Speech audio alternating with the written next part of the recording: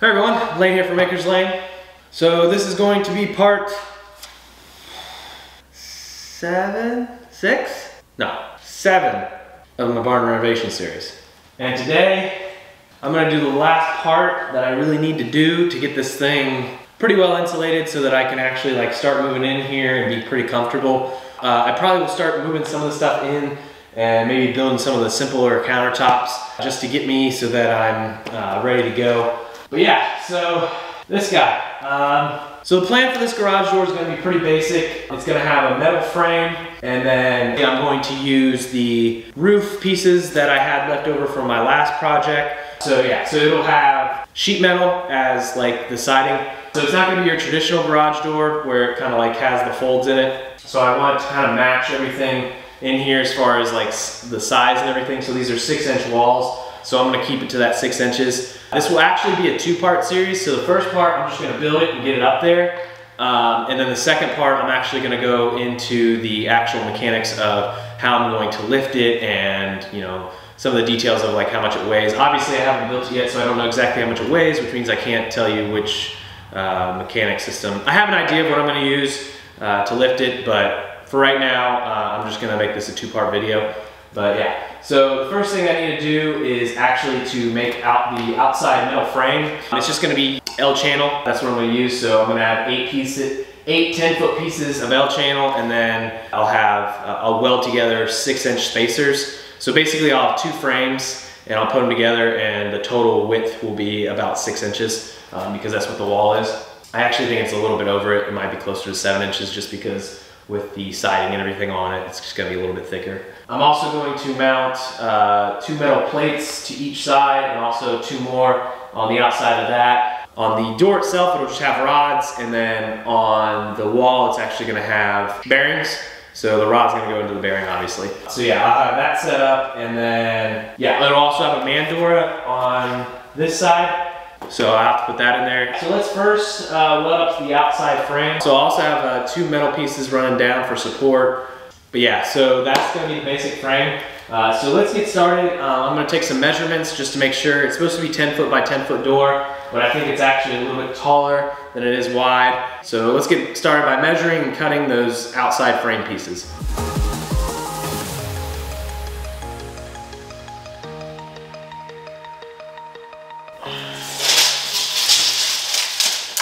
Okay, so I'm gonna make it 119 by 119. So just an inch short of the 10 foot. It actually is the exact same size. It's actually 10 foot by 10 foot, so I did a good job framing up, I guess.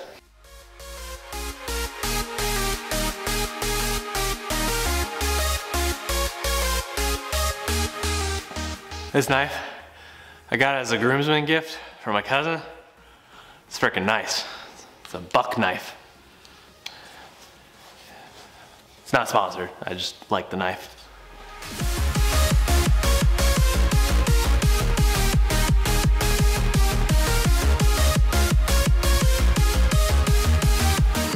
So yeah, just a basic square, not a whole lot to it. So I'm gonna cut these to 119, and since it's an L, I'm gonna cut straight up one side and then at a 45 on the other, so that way the two pieces will fit together. And then I'm gonna weld it together.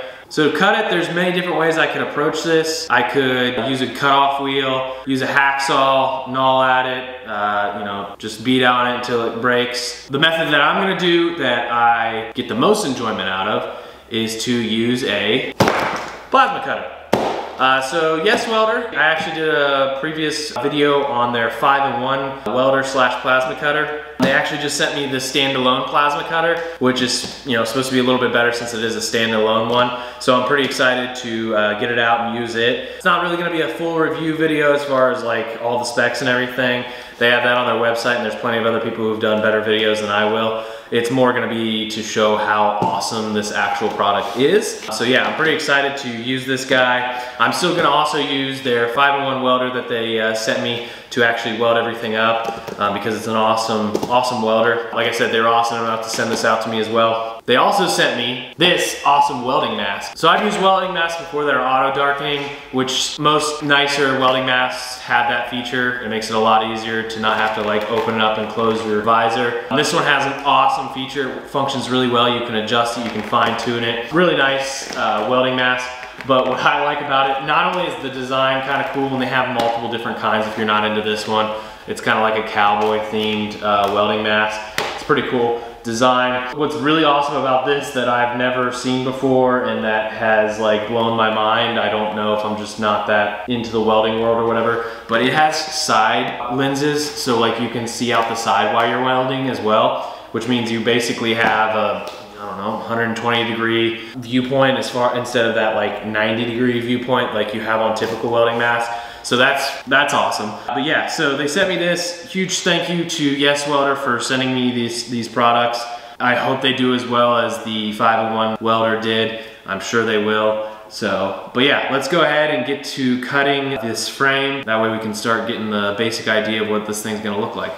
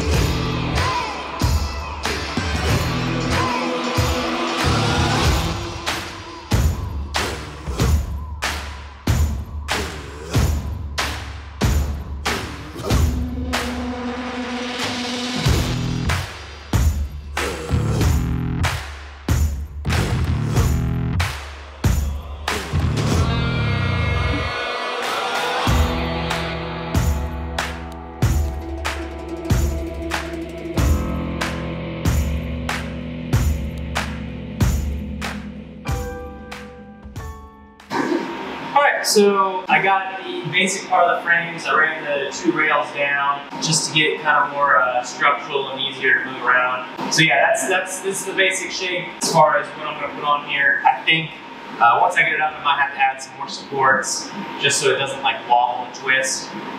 I do still need to add the door into it, into the, to the outside frame but I think I'm gonna wait until I get the two pieces together. Speaking of that, I do need a second piece. I do need the back part of the frame. Hopefully I can make it unnecessarily loud. So now that I got both of these all loaded up, I need to get the distance that I want. So with the distance of the uh, siding and the other side of the siding, if I make the total width six inches, it should be the same width as the door. So now I need the spacing pieces between the two. So since these are inch and a half pieces, that's three inches.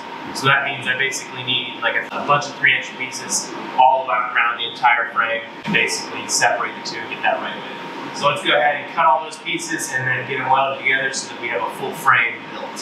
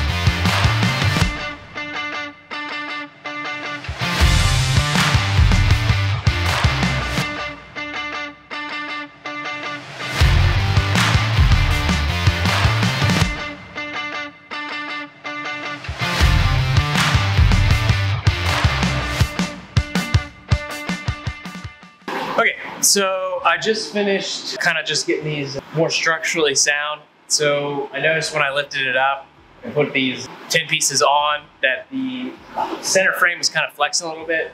So I went ahead and put some extra tubing here. This will also be able to hold the metal because I'm gonna put metal on this side of that channel there. Um, and the same up at the top here. So basically the whole door frame here is now structurally, like I can basically, I can, you know, I can jump on it. So that's what I was doing. And then I also ran a single bar in the center here because it doesn't have to look as pretty.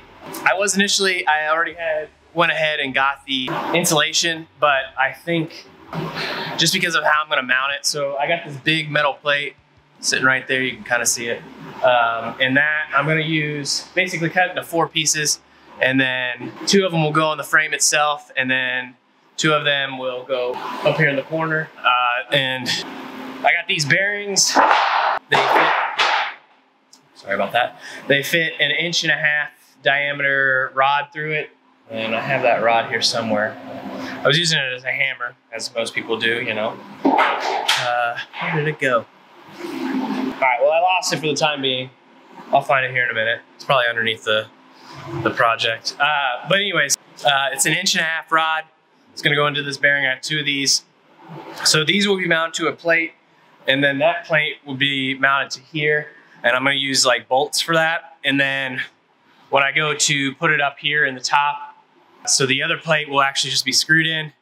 And then, I don't know, I kind of got to mess with some stuff because I'm not 100% how I'm going to set it up yet. It's going to be some trial and error type things. But, but that's a basic concept. It's going to be a rod going through a bearing. One's going to be fixed, the other one's not. I don't have a drill bit big enough to actually drill an inch and a half hole through these plates. So I'm actually going to use the plasma cutter again to cut those holes. I'm going to go ahead and get my ladder, I get the door basically kind of where I want it situated. I'm just gonna go through some things to kind of figure out how I'm gonna do this. Um, like I said, I gotta cut that plate over there into four pieces. So I, I could probably go ahead and do that. And then, I don't know, I, I'm just gonna kind of go by the seat of my pants on this one because it really has to be perfectly aligned when I do this. Like I can't have it off that much because then otherwise the door won't lift correctly um, or it'll get, it'll get like caught on the side or something like that. So this is gonna be a lot of trial and error. I may not get it the first time and I may end up getting it without actually filming it. So I'm sorry if I do, but yeah, it is what it is. It's not like I do this every day. So it's a learning experience for me too. So let's go ahead and cut the plate, get about it and start working on this, whatever the hinges, I don't know, whatever. Yeah. Go.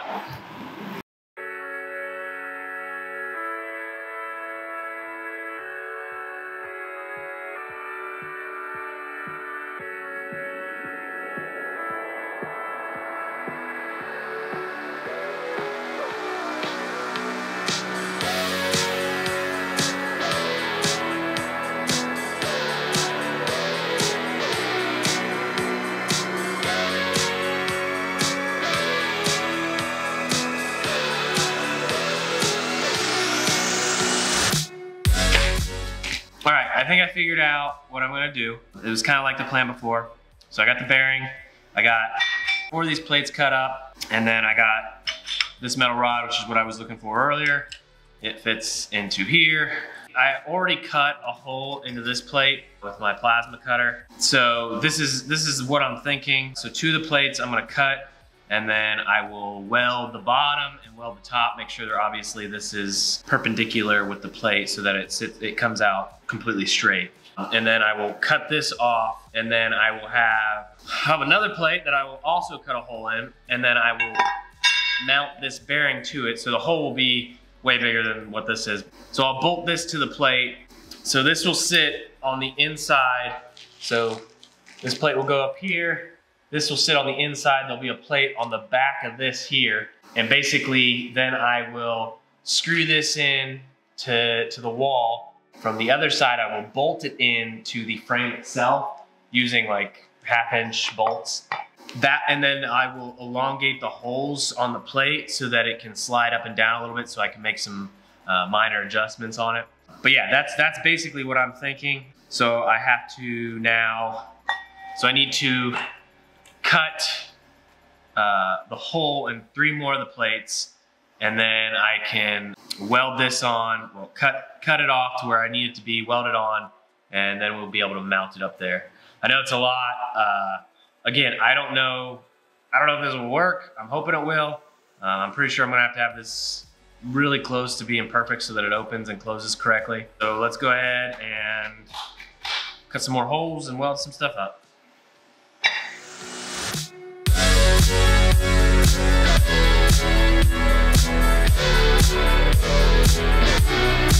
Okay.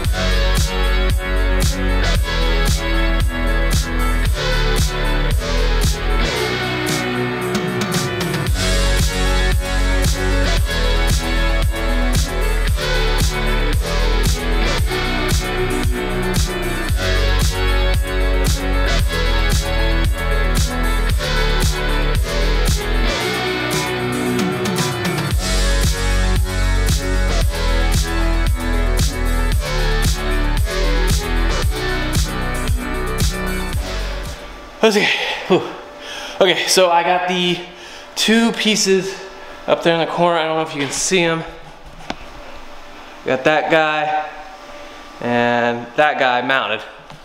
Uh, so I haven't put the bearings on yet or the other plate, but I just wanted to show because I was really worried that this thing would not like move, it'd get bound up. But without anything on it, Let me, let me, let me uh, set you further back. This baby.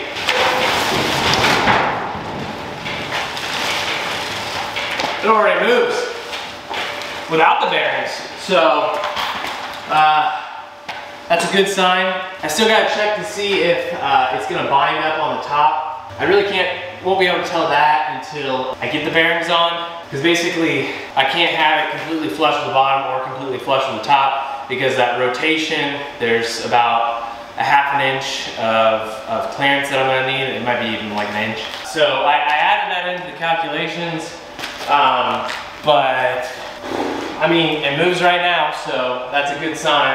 So I'm pretty happy about that. It's hung now. The next thing it's gonna be to do is obviously mount the bearings on there. Yeah, so exciting.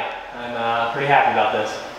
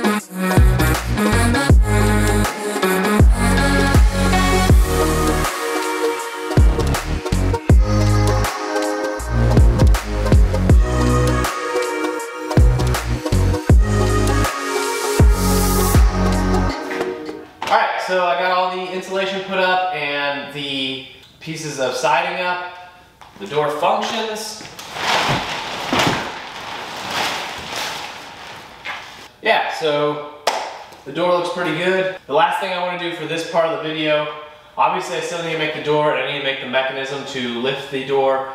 But for this part of the video, I'm going to end it. What I actually need to do is go ahead and paint all of the outside pieces So I'm just going to use some spray paint, nothing special. That will look a little something like, so yeah.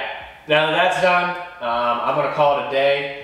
Like I said, the next video will be the actual man door itself, and then I'll do a follow-up video. It's gonna take me probably a little bit longer, so it may be a little bit before it's released, but the last video is going to be the actual mechanism to lift the door. So I'm contemplating a couple different ideas, whether I wanna use like an old garage door, whether I wanna use a counterweight system, whether I wanna use a winch. Those are all the possibilities that I might use. But again, I haven't figured it out yet. I also got to figure out how I'm going to uh, build a door latch into here because it is six inches, like typical door handles won't work. So I got to either modify or make something um, special to make it fit this door here. But yeah, so that's it for this video. Um, I hope you guys enjoyed the video. I know I enjoyed this project. I feel like this door really adds a lot of character to this space. I have started to um, actually put some of the stuff in my shop and I'm actually starting to work out here. It's getting ready to get warm out, so I'm, I'm, happy to get out here. I got a lot more projects that I want to do before I call this shop complete. But as most workshops go, it will never actually be complete. I will always be upgrading, adding new stuff, continuing to expand.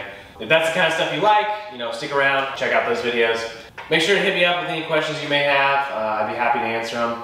But uh, until next time, I'm Lane from Makers Lane. You guys have a good one.